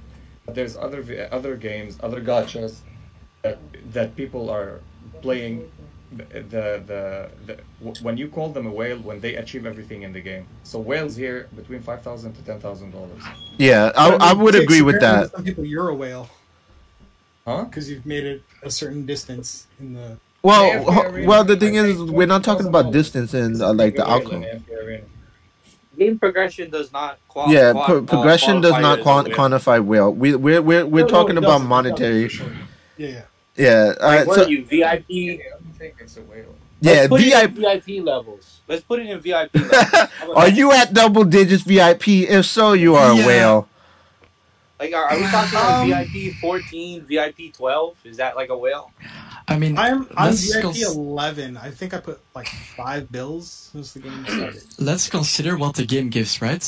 From VIP 14 onwards, you get special deals in your mail that sometimes Yeah. give this, sometimes give this. Yeah, yeah, I've seen that. I was feel like this, that- nobody's speak, spoken about this. Nobody's talked about this. I because because they're clear about it. They wrote it that is that you get the benefits, so everyone knows about it, so it's fine. So I feel like from that point on, when the devs or when not really the devs, but when the game gives you rewards because you spent that much, I feel like that's when you start considering that Like person to be a whale? Yeah, Yeah, because like I've seen, I think I think in one of Mark's videos he showed his VIP, and I saw how many points you needed to get to that point. Maybe it was even paying, maybe both of them. I saw how many points you needed to get that point, and I calculated how many I had versus that point, and I was like, bruh. Yeah. No. Are So whoa. me? So here's the thing. This is what I want to say. Cause like VIP nine is like attainable by a low spender. A little VIP nine is fucking. Uh, it's very cheap. w- Yeah, it- yeah, I love how y'all say like- it's very cheap. It's insane. Like we need to like make, probably set a, a, a minimum barrier to what a whale is because like Pain and th- those players, I consider them megalodons. When you're talking like 10k up, that is not a whale. Like that is more excessive than a whale. Like how, like that that that's what I'm trying to say. It's like those there, called- there are that's levels of white, that. white whale. That's called white whale. Yeah, cause like that's what I'm saying. Like Chapone said that he's VIP 14 and, or something like that. That that's 13. That's a whale. Like that's that's not a cheap person in my opinion. Hold on, hold on, hold on. Again, it depends on the game. In AFK Arena, if you paid ten thousand dollars, you can't compete with the top one hundred. You need to pay more. In this game, if you pay five thousand dollars, you can be the top one in the game worldwide. It depends on the Uh, game. worldwide within your bracket. It's not worldwide. No, Within no, no, no. bracket. W- I'm, I'm talking worldwide. The first one to clear all the content in the game, every, I dominate just- everything. Oh, 5,000? That's all you need is 5,000? Yeah, but if you're smart and you pay five thousand, man, I didn't pay anything. Yeah, I If you, know, if you know anything. what and what tools you spend, you, you can be you can be the Yeah, if you spend correctly, of course, five thousand dollar gives you everything, access to everything in this game. You'll get every unit maxed to, to triple S. How many stars? It's up to you, and the RNG, of course. But if you, if you want to talk like mega mega whaling, I go, gave you an example. There's a game that you couldn't compete unless you paid at least a million dollar. Yeah, it's it's an it's nuts. bullshit game actually. It's auto There's everything. a lot of luck involved as well, right? Yeah, RNG is a thing also. If you want to be a successful uh, free to play, let's say, one major thing you need to have is luck. yeah. Yeah, that's true. That is true. All right, so on the top on this topic, we- we'll I'll start winding down because we're already way past like three hour mark. Oh, But this, Jeez, I was but only here for an hour. well, here's the thing is like the podcast itself will end, but Yeah. uh, any anyone has any last questions that they would like to ask before the podcast ends out? If not, we'll keep the call going, and y- y'all can still ask questions anyways. I just want you guys to answer one thing so we can go and make a feedback, big feedback about it to talk Mhm. to the devs. Uh, aside of money issues and monetization, that's th- th- those things doesn't concern casuals, uh, low spenders, and free to play. It only concerns heavy payers. What do we need to improve the game? What do we need to send a message? Like, what message should we tell For the me, developer? it's literally just communication. That's like legit. That's it. Like developer notes, you mean uh, before patches, drop notes. Yeah. patch Or if you're gonna drop something in the middle of an event that affects how you spend event currency and things like that. Yeah, don't give out banners to people that don't deserve it just cause. no, no, they Oh, the deserve it. But don't don't state that it only comes from the shop and then give another option later. Yeah, that was kind of Yeah, there's some some things bothering when they do shadow fixes. That and stuff that's like legitimately That's not- my only gripe is just communication. Like I'm as a person I'm huge on that. So So? when I see it in big games, it's like it's a big gripe. They dropped And I the info in the notice, right? In game. No, it's not there. It's not there. It's not there. I looked. I looked just in case, just to make sure it's not there. Oh. Oh, like the mission. The mission communication- didn't. You, No, you couldn't you, look you in can the you can mission. click the little notice board and it'll tell you what's like patch notes. It'll give you patch notes. Like there's update notes for five ten and all that stuff, but nothing indicates that change. But I the in-game, 36, the in-game by the way. notes tell you that you can only spend uh, demon soul stones to get it. Until you pointed out last night, or was it last Which, night? which, Or the night which one? Which needs uh, demon souls? I don't get it. That frame, the icon frame, the frame. frame that you got. The one Oh, in the yeah. shop. The one in the shop, that frame that you got for getting 300, it cost Yes. 50 demon soul. Yes, Yeah, I I did that. that with 50 demon souls, and then they gave me one They in my. for free. Yeah, they gave Yeah, me one for It free. cost 50 demon souls to Oh buy my it, and then Is they it the gave it for free. Yeah, it's the same exact frame. Yeah. That's why I was mad. Don't do it. That Wait, was that's a slap in the They gave it face. for free or gave it for high-ranking people? No, for, for the free. same for the same the same thing you talked about in Bison Dante 300 million. Yes. That's the same frame that you have to buy for 50,000 or for 50 demon soul stones. It's the same frame. That makes no sense.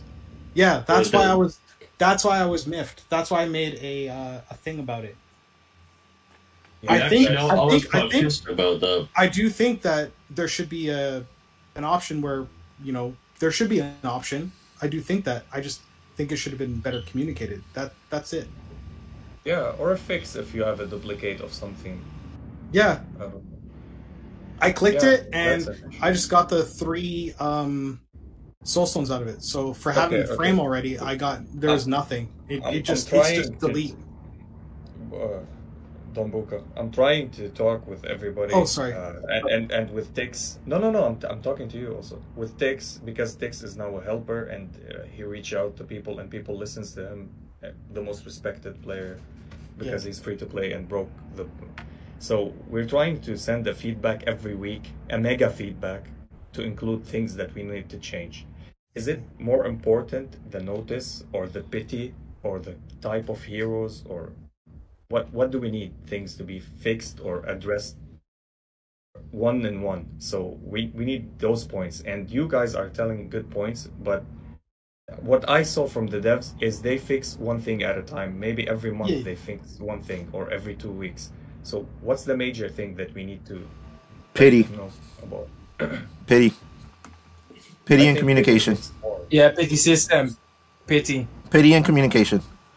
I think those are the Wouldn't- two wouldn't pity biggest communication things. roll into the same thing because So, Tix, can you make a No. fit, feedback about the communication and the pity a good one because you know how to do it?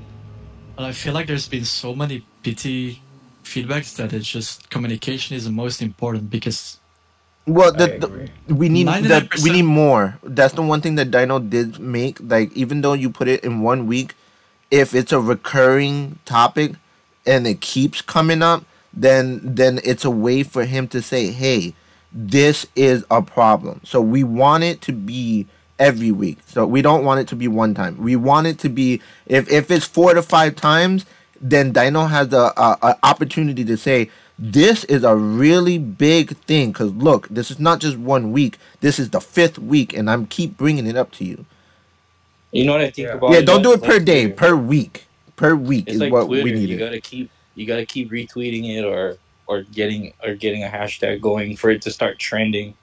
So the issues need to start becoming a trend in their de- in the developers office like when they get their customer when when our community management group for Crunchyroll says like hey this is becoming a trend and it needs to be corrected that's what that's what we need to treat it like like you, everybody's got to everybody's either got to say the, the same thing all at once or everybody's got to or one person one or two people has to post every week because that's what happened with Monster Hunter Ken, right? Everybody said the same thing all at once, Yeah. and it was like hot fixed.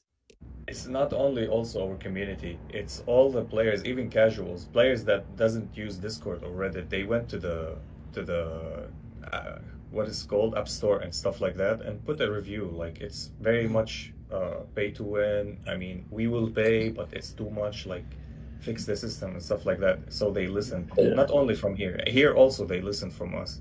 But it was like a trending thing all over the globe, just not only on based on Discord and stuff. Yeah. Uh, I think Pity I is think also hi- hitting that. I, I hear many videos on YouTube. Uh, I see many reviews in the store also talking about the Pity system that it's not existing in Divination. Many AFK Arena players and and uh, Epic Seven players and stuff like that coming in and telling like we came to this game. It's amazing. I love the IP. It's uh, our childhood and stuff. But there's no pity, shame. How could you fix that and stuff? This is the yeah, first I game I've ever seen that has no pity. Yeah. Personally, I I'm, I'm, I will context I don't play many, but out of the handfuls that I've I- played, all of them have had pity. Yeah, I, I tried even Genshin and, and I'm playing Honkai now. They have pity at 300. That's thing. is, but I can't even talk about there. because You know? I, I don't. I'm not a gacha. I've seen it in Honkai and it's been nice. Yeah, that I mean, like Seele, then the character that launched with Honkai, I got one, and I, I Yeah, made, I it made me feel That's good. I was like, "Ooh, sweet." Yeah. Am I gonna ever play this game? Probably not, but it felt good to be like cared for. When they're like, "You know what, baby? Yeah, Here's a little they- they candy had a for you." system. You have soft pity, soft pity at 75 and hard pity at 90. No matter what you do, you're gonna get it. So it was Oh, you're nice. gonna get it at 90. Interesting. Yeah. So that,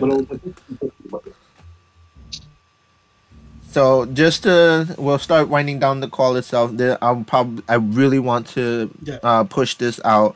Uh, for those that are listening on YouTube, we have a wonderful, amazing Discord. Uh, all the people that you heard, these guys are the theory crafter masterminds. We are all the tryhards, and we love the game very much. We have options that allow you to put game feedback that can be pushed to certain teams and uh, the community manager makes sure that that's pushed forth every Friday. Um, and we also have this call that we try to do every Friday as well to build the community as well as other things that we're working on. You know, uh, we have wonderful content creators. We have wonderful people. It's just a great place to be. So please, you know, join us and help make this game better for from everyone from Friday Fighters, like, comment, subscribe. We're out.